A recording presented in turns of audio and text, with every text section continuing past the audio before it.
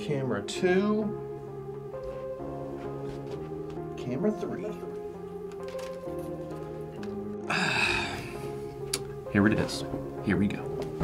What's up guys? Welcome back to Unbox Junkie. My name is Matt and today we're looking at something a little different. This is gonna be something geared more toward like creators or photographers um, or even uh, store owners uh, for display purposes. So today we're looking at the 360 degree electric rotating turntable by, I think I'm pronouncing this right, Yonjay? Yonjay? I don't know. I purchased this myself because I thought, hey, I would like to, you know, have something like this to display some products in my videos. I think it'd be a cool addition to have when I'm making like little B-roll footage or something. And, uh, and I went on Amazon and I found this. I thought about getting one of these like a long time ago and I put it off, I don't know why, but I finally did it. Finally got one. Now, this is actually four and a half star rated on Amazon right now, and it's only 50 bucks, which is pretty good because it says that it has a 50 pound capacity, and we're gonna test that. I actually got some weights over here. It does have a couple little features on it that make it a little unique. I don't know if it's unique to all the others that are out there that are available.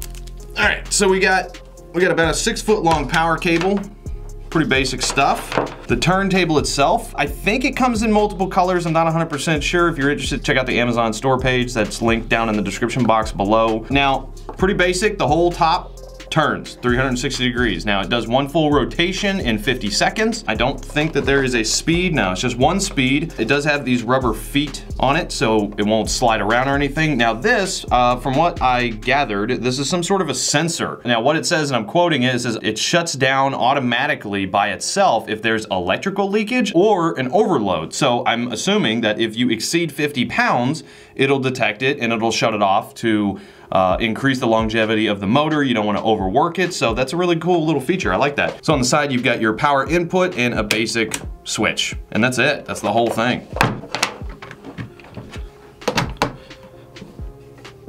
Oh, it's already on. Can you hear it? It's really quiet.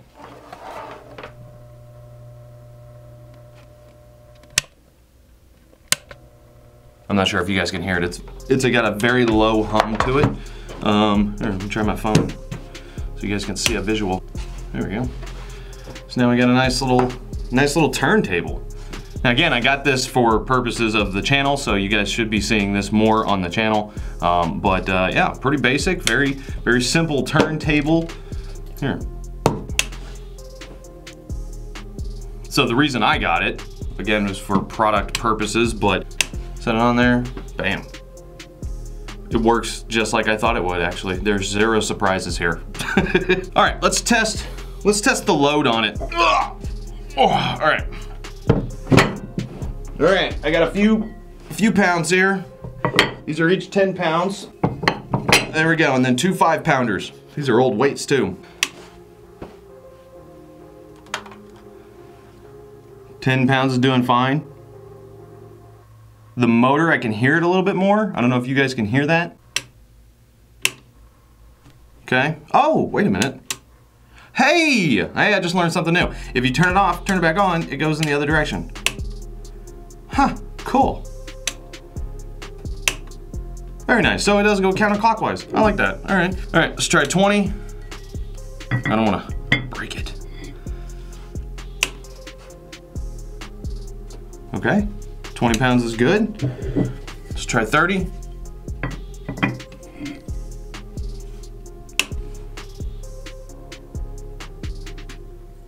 Still working?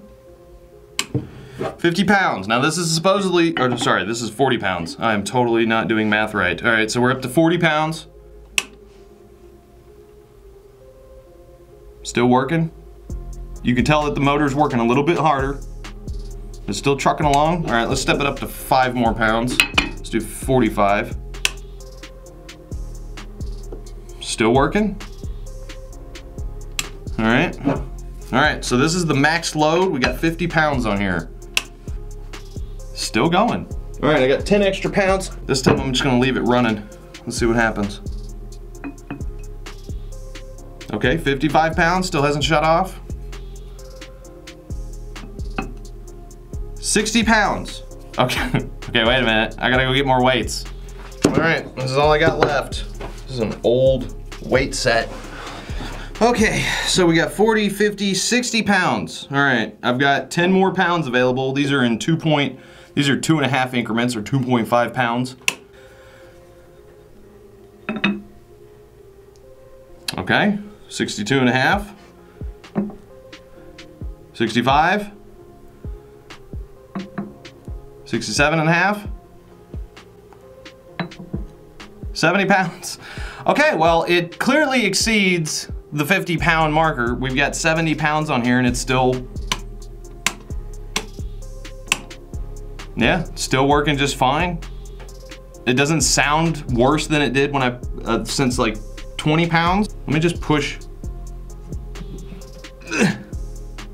Yeah, it's still going. That little sensor on the bottom though, that, now there is no instructions. Yeah, there's no instructions that came with it, but there you go. So 70 pounds, that works. Still works just fine. Now my hands are nasty, but uh, but there you go. Yeah, not bad. I'm happy with the purchase. I think it was worth 50 bucks for sure. Uh, it holds 20 pounds more than it's advertised for. I wouldn't suggest it because uh, they advertised it for 50 pounds probably for a reason. I'm a little disappointed that it didn't do like an auto shut off or anything. It didn't, uh, and there's no instructions that explains how that works. Um, but if you have products that you want to display or you're a creator like myself and you want to display products on camera or you're a photographer, um, yeah, this thing's great. It works pretty well. I mean, 70 pounds, that's pretty impressive and I could probably do more. I mean, I pushed down on the 70 pounds and it kept going. So um, I'm not sure what the full limit is. I don't have enough weights really with me. But uh, yeah, there we go. Not bad. I like it. I'm definitely gonna be using it. Bam, there you go. All right, guys, well, that is it. I'm gonna leave links down in the description below as usual. I leave it in your hands, but as for now, get out of here.